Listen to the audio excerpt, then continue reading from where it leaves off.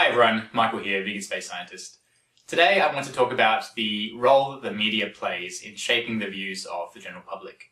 It may not be a surprise to you that the media does not always have the best interests of the public in mind. After all, many media organizations are either for profit or run by governments, and so competing interests like profit, money, and political ideology are inevitably going to come into the picture.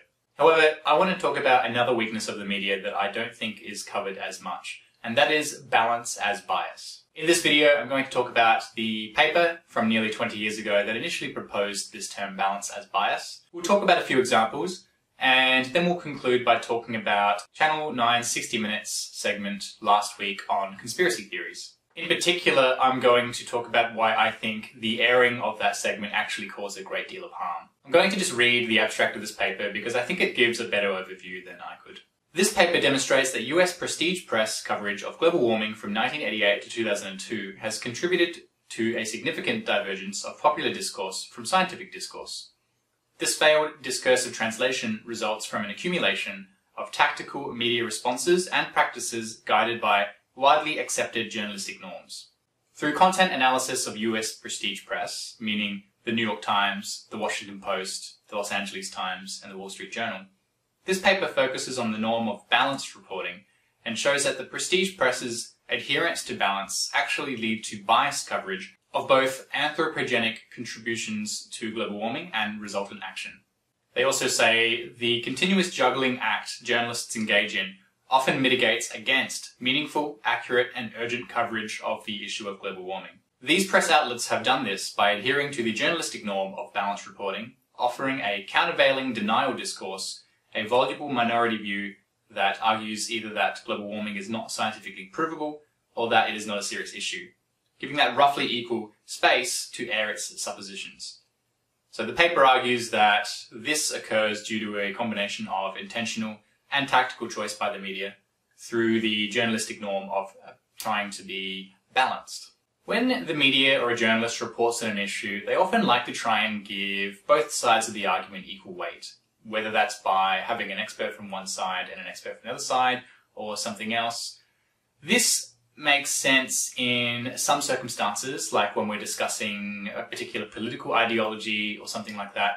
However, when we're talking about science, it doesn't necessarily make sense. So while this particular paper talks primarily about climate change, I'd argue that this term balance as bias could and should be applied to pretty much any scientific reporting in the media. So consider when the media interviews someone on any scientific topic, but particularly one that has been quite politically charged, like climate change. They often like to get a scientist, pitch them against someone who holds an alternative view, and have them have a debate, or interview them both.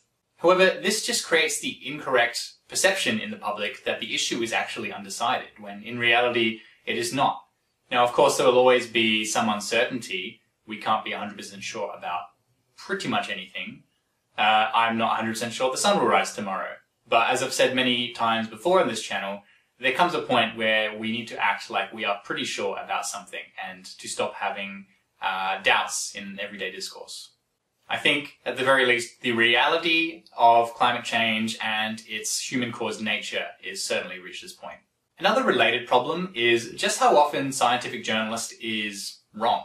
So this study from 1984 sent science stories and journalism to scientists to see how many had errors. Quote, 48.5% of the respondents said that the story was entirely accurate, which I guess would imply that the remaining 51.5% is a little bit inaccurate, somewhat inaccurate, very inaccurate. It doesn't really specify. One study of the accuracy of science reporting in newspapers indicated only 29.4% of scientists find the story completely accurate. Another study from 1996 said this study evaluated the accuracy of newspaper reports on an annual consumer report that reports the expected number of deaths following bypass surgery conducted in Pennsylvania hospitals.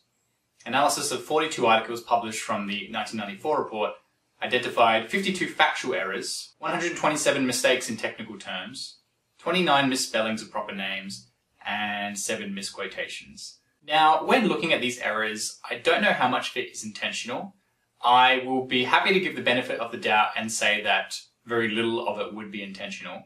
I suspect most of it is just the journalist not understanding the science or maybe even being lazy in their reporting. Let me give a more recent example. An article in the Daily Mail from 2017 is titled, If you want grandchildren, make sure you eat protein, study finds. Normally the Daily Mail doesn't surprise me for their subpar quality reporting, but this one was pretty bad. This article originally claimed that a study showed low protein diet in humans led to low fertility. I read the study they cited, and it actually had no data on humans. It was talking about bovines and fruit flies. Further, the Daily Mail article then made the leap to say that, therefore, not eating meat can lead to infertility in humans, something that the original paper didn't actually mention at all. They just kind of made their own assumption. Now, I put in a complaint to the editor of the Daily Mail, and impressively, to their credit, they actually went and changed the article.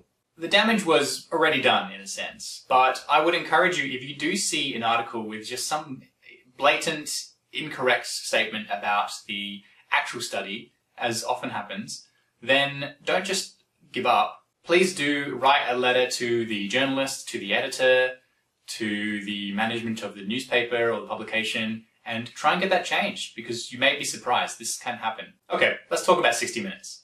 So last Sunday, on the 7th of June, 60 Minutes ran a segment on conspiracy theories. Most of what they were talking about was related to SARS-CoV-2 and coronavirus. They interviewed two people who were putting forward views that are not represented by science, and they interviewed one scientist and one medical professional. That's a ratio of one to one, and that is exactly what I'm talking about. 60 Minutes is trying to appear balanced, and in doing so, they're creating a bias in how we, the public, would perceive the issue. When I decided to make this video earlier this week, I actually had been deliberating a lot about how much to actually talk about the people putting forward these alternative views and how much to even address the points that they are making. I've decided to talk about specifics as little as possible because I just don't want to give them a free extra platform. And I won't be showing any footage from the program itself. To explain why, let me talk about something a little bit different. There is a view that reporting on acts of terror like school shootings and bombings actually creates a net harm. By showing the name, the face, and giving airtime to their ideology, you actually encourage future school shooters, future terrorists, because potential terrorists would look at this and they'd think, if I wanted to get my message out there, this is a really effective way to do so. So, what's the solution? At the moment, I favour not reporting the name, face, or any other identity of the shooter and not reporting their ideology. Instead, I would like to see the media talk about the event that occurred, acknowledge the lives that were lost, and maybe talk about the victims a little bit more. And so for these same reasons, I want to give as little airtime as possible to the ideas and the people presented in the 60 minute segment. Having said that, I will mention one of them because there are some things that they said and did that really are quite critical to my point that I'm trying to make here. So in this segment, they interviewed Pete Evans about his views on COVID-19. Pete Evans has also produced a cookbook using a paleo diet for babies. Medical professionals have called this cookbook dangerous because of the low nutrient count in many of the recipes, and also the risk that parents might opt for these recipes instead of for breastfeeding for very young uh, newborns. He also promotes what is basically a fancy light box that is sold for $15,000, which he claims will, among other things, protect against SARS-CoV-2. Now, while Evans didn't produce the product, he didn't develop the product, he's certainly promoting it. I'm just giving these examples to give an impression of some of his other views and why I think they are harmful. So the things that Evan talks about in the interview, whether he is doing it intentionally or not, is largely around sowing doubt. So when he's asked, does he think Bill Gates is behind all this, the coronavirus, he says, I don't know. As if to imply that well, he doesn't know, but we should act suspicious of him because he, we don't know. Well, I don't know if my neighbour started coronavirus. Should we be suspicious of him more so than reasonable? No, I don't think so. That's just one example. He talks about science changing over time. We learn new things that were wrong and the models on coronavirus were wrong. Yes, but so what? Models are wrong. And we should always be updating our views, but that doesn't lead us to some of the other conclusions that he seems to be going towards. He also says something like, if I had to live in a society where I can't hug my mum, I assume he's implying that he wouldn't want to live in that society because he didn't finish that sentence. Like, really. Let's say it was a particularly deadly strain of avian flu that was 80% likely to kill your mum. Let's say she's in a at-risk category. This is a hypothetical, of course, but there is a possibility of an avian flu in the future being that deadly. Would you still want to hug your mum? I would hope not. It's about risk management. Everything we do has a chance of killing either us or someone else. Whether we think about it or not, we're constantly doing this risk management. I'd argue it's better to think about it rather than to ignore it. But for me as well, when I first got back to Adelaide a few months ago, I didn't visit my grandmother for a few months. And I only recently, as of a few weeks ago, went for the first time. This was hard for her and this was hard for me, but I didn't think the risk was worth it. So it turns out that Pete Evans uploaded his whole 90 minute interview uncut to YouTube on his channel. Uh, and I decided I'd go and look at it because there were some people on Twitter saying that the 60 minutes interview, which of course was much shorter than 90 minutes, his part of the interview was maybe 5 to 10 minutes, they were saying that it had been cut and edited to make him look crazier than he was. And so, yes, I did go and watch that full interview. Uh, you're welcome. Now, the full interview gives more nuance to his views, lets him expand on some of the points that were just short sound bites in the shorter version. Of course, of course, that's only natural. But I still disagree with most of what he said. In a lot of what he said, there was a tiny bit of truth, but he was either being misleading, whether intentional or not, or just flat out wrong. The content that went into the final cut was, of course, strategically chosen by 60 Minutes that's the nature of them cutting and choosing certain things. They're not doing it randomly. But I don't think the way that they did it was particularly misleading or out of context. I will say that the interviewer, Liz Hayes of 60 Minutes, was engaging in a questioning style that I would describe as quite badgering. She was really pressing on some points and trying to make Pete Evans say some things that he clearly didn't want to say.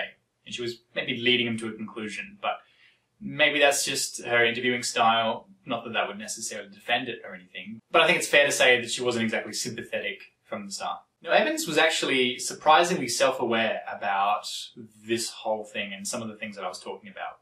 He said, I have a healthy skepticism about how this might be edited. The funny thing is, when these stories come out about me, it raises awareness. Now, needless to say, none of that particular quote made the final cut, but he's absolutely right. Reporting on all of this just raises awareness about his ideas. It's just the case that Evans thinks this is a good thing and I think this is a bad thing. And finally, the title of the full version that Evans uploaded to YouTube is actually wrong and misleading.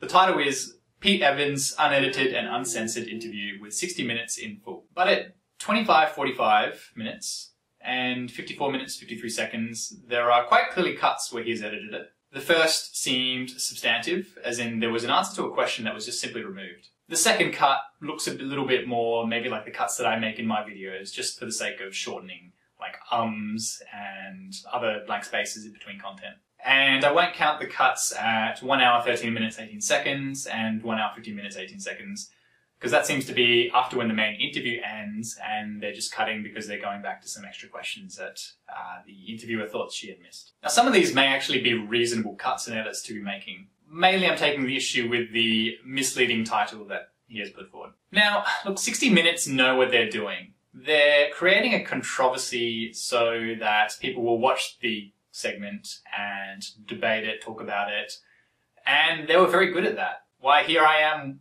talking about this. I just watched the 60 minute segment twice. I watched the, the full interview. It's the same reason why 60 Minutes let a radio host a few weeks ago play a prank on his co-host, pretending he had some kind of terminal illness and was going to die.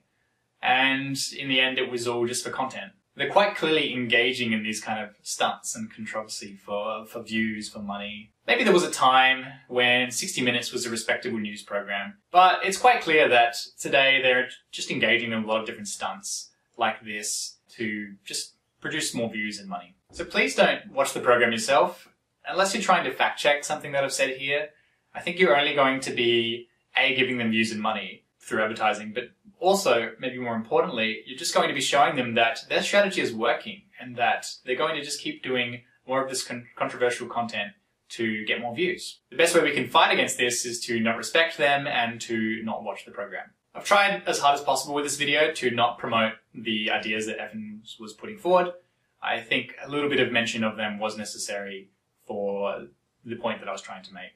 So what should the media do? Interviewing 99 scientists and one person putting forward an alternative view is not very practical. So I, I, just argue that they shouldn't interview that one person at all. This may create a fairly reasonable worry, which is, do we want the media to be the arbiters of truth? Because if they're making that decision to not put forward the alternative view, then in a way, maybe it can be perceived as them controlling what we see as the truth. But in a sense, they're already doing this. By putting forward one person from each side, they are altering and controlling what we see as the truth. By creating a balanced view of an unbalanced issue, they are creating a bias in how we see certain scientific issues. So I want more oversight on how the media report on science. To finish up, I'm going to quote again one of the papers that I quoted earlier. The authors conclude that trade publications appear to have provided the most accurate coverage and recommend development of a voluntary certification program for science reporters and that scientists be encouraged to seek additional training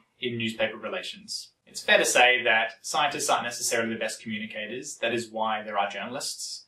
Not everyone wants to go ahead and read a scientific paper. But whilst media is largely to blame for this, I think also, in a sense, it is maybe a little bit on the scientists to get better at communicating the science, to get better at making sure that the journalist actually understands what they're saying we can't always control this because sometimes journalists will write about your uh, particular research without consulting you, but this is something that we do play a role in as scientists. So I think I'll leave it there, folks. Thank you for watching, and we'll see you next time.